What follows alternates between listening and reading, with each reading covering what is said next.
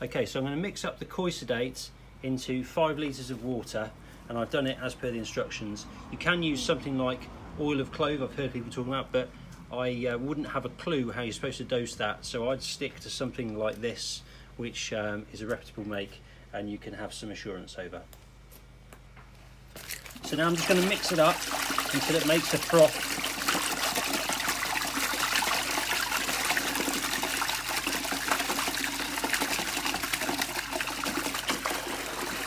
go. And that's now fine. Okay, so I've got the fish in the sedate. I'm going to take two scrapes of the um, of the of the skin. One from there up. Yeah, got a nice bit on there. And then the other I'm going to do from the top across. Oh yes, and that always, for me, gets a better sample. I'm going to put the fish into the recovery bucket.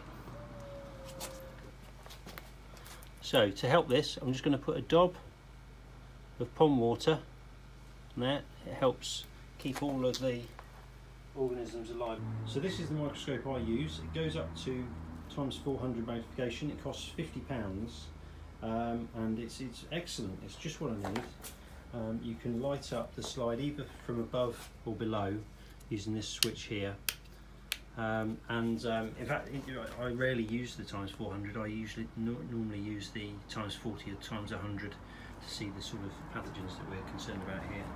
So I'm going to have a look under the slide, uh, so under the microscope the slide, and um, see if I can see anything.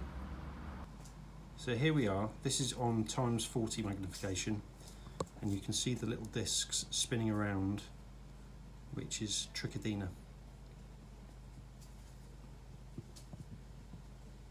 Now looking under a times 100 and the spinning discs are very, very clear.